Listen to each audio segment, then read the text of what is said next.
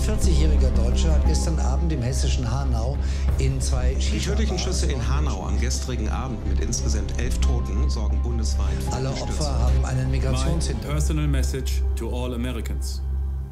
Your country is under control of invisible secret societies.